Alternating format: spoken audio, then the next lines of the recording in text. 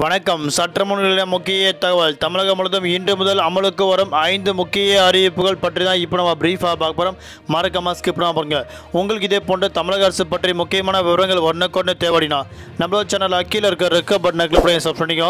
பக்கத்தில் பெல் பட்டனை கிளிக் பண்ணிக்கோ. அப்போ தான் டாக்டர்லி போகிற வீடியோ உங்களுக்கு அவசரம் இந்த வீடியோ உங்களுக்கு பிடிச்சிருந்தா லைக் பண்ணுங்கள் ஃப்ரெண்டு ஃபேமிலி எல்லாருக்குமே ஷேர் பண்ணுங்க. வீடியோவை கொஞ்சம் ஸ்கிப் பண்ணாமல் கடைசி வரைக்கும் இப்போ வாங்க வீடியோக்குள்ளே போகலாம்.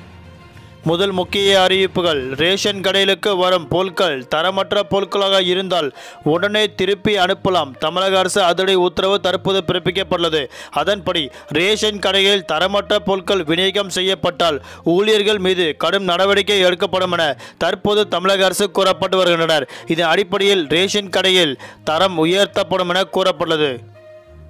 இரண்டாவது முக்கிய அறிவிப்பு. கோவில் இடத்தில் செயல்பட்டு வரும் மூன்று டாஸ்மாக் கடைகள் மூடல் வெளியான பரபரப்பு தகவல். தமிழகத்தில் கோவில் இடங்களில் டாஸ்மாக் கடைகள் வைக்கப்பட்டிருந்ததால் தற்போது டாஸ்மாக் கடைகள் அகற்றும் பணி தீவிரமாக்கப்பட்ட நிலையில் தற்போது கலெக்டர் நடவடிக்கை எடுக்கப்பட்டுள்ளார். திருக்கோவிலுக்கு சொந்தமான இடங்களில் இறைச்சி கடைகள் மதுபான கடைகள் போன்ற புல் சம்பந்தப்பட்டமான தொழில்கள் செய்ய இந்து அறநிலைத்துறை சார்பில் தடை விதிக்கப்பட்டுள்ளது. மூன்றாவது முக்கிய அறிவிப்பு. தமிழகத்தில் மீண்டும் மழை பெய்யக்கூடுமா? கேள்விகள் எழுப்பப்பட்டு வருகின்றனர். அதன்படி சென்னை வானிலை ஆய்வு மையம் தற்போது பிப்ரவரி மாதம் ஏழாம் தேதி முதல் பிப்ரவரி மாதம் எட்டாம் தேதி முதல் தமிழகம் முழுவதும் உள்ள அனைத்து மாவட்டங்களும் பெரும்பாலும் வறண்ட வானிலையே காணப்படும் என தற்போது கூறப்பட்டு வருகின்றனர்.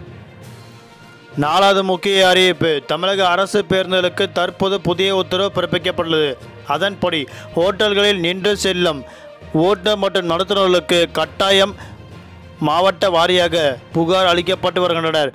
ஹோட்டல்களில் தரமற்ற பொருட்கள் விநியோகம் செய்யப்பட்டால் அந்த ஹோட்டல்களில் ஓட்ட மற்றும் நடத்துனர் நிற்கப்பட்டால் கடும் நடவடிக்கை எடுக்கப்படும் என தற்போது பேருந்து போக்குவரத்துறை அமைச்சர் ராஜா கண்ணப்பன் கூறியுள்ளார். அதன்படி ஹோட்டல்களில் தரமற்ற பொருட்கள் விநியோகம் செய்யப்பட்டாலோ ஹோட்டல்களில் உணவுப் பொருட்கள் தரமற்றதாக இருந்தாலோ கடும் நடவடிக்கை எடுக்கப்படும் என பேருந்து போக்குவரத்துறை அமைச்சர் தற்போது புதிய உத்தரவு பிறப்பிக்கப்பட்டுள்ளார்.